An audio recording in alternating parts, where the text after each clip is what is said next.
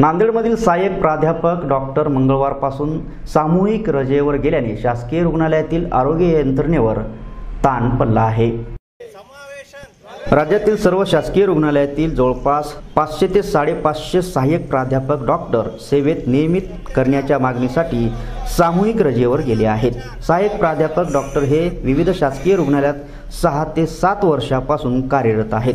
कोरोनाच्या काळात या डॉक्टर मंडळींनी आपला जीव धोक्यात घालून काम केले. आताही तुटपुंजा पगारावर हे डॉक्टर्स कोरोना काळात आपला आणि आपल्या परिवाराचा जीव धोक्यात घालून काम करीत आहेत. राज्यातील सर्व अस्थायी सहाय्यक प्राध्यापक डॉक्टरांना सेवेत नियमित करण्याचे आश्वासन उच्च व वैद्यकीय शिक्षण मंत्र्यांनी दिले होते. पण वर्ष उलटूनही आश्वासनाची पूर्तता झाली नाही. त्यामुळे सेवेत सामावून घेण्याच्या मागणीसाठी हे डॉक्टर्स सामूहिक रजेवर गेले आहेत. डॉक्टर्सच्या सामूहिक रजेमुळे नांदेडच्या विष्णुपुरी येथील शासकीय रुग्णालयातील आरोग्य व्यवस्थेवर ताण पडला आहे. एकच मागणी आहे. आमचे रेग आमचं रेग्युलरायझेशन झालं पाहिजे. म्हणजेच समावेशन झालेलं पाहिजे. आम्ही महाराष्ट्रातील सर्व सहाय्यक प्राध्यापक जवळपास पाचशे ते साडेपाचशे सहाय्यक प्राध्यापक आमची दोन हजार एकोणावीसपासून फक्त एकच मागणी आहे की आमचं समावेशन करण्यात यावं.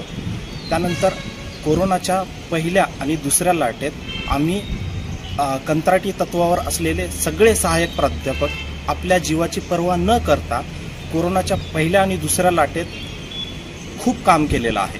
पण दोन हजार वीसमध्ये मन माननीय मंत्री महोदयांनी आम्हाला समावेशन आमचे रेग्युलरायझेशन सेवा नियमित करण्याचे आश्वासन देखील दिले होते. तसेच दोन हजार वीसमध्ये देखील आम्हाला त्यांनी आश्वासन दिले होते. पण आजपर्यंत आमचं आमच्या ज्या सेवा आहेत त्या नियमित झालेल्या नाही. म्हणून आमची फक्त एकच मागणी आहे की समावेशन आमचं समावेशन करण्यात यावं.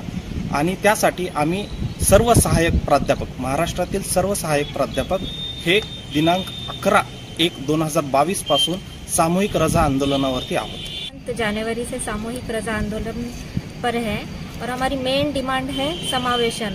मतलब ये हमारे सारे सेवा जो है वो नियमित करने का या रेगुलराइजेशन करने की हमारी मेन डिमांड है। और दो साल से हमारी ये डिमांड है।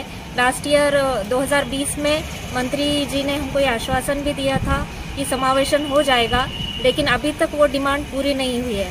और उसी तरफ़ गवर्नमेंट का ध्यान खींचने के लिए हम सारे महाराष्ट्र ऑल ओवर महाराष्ट्र के सारे डीएसबी टीचर्स ये सामूहिक रजा आंदोलन पर गए हैं।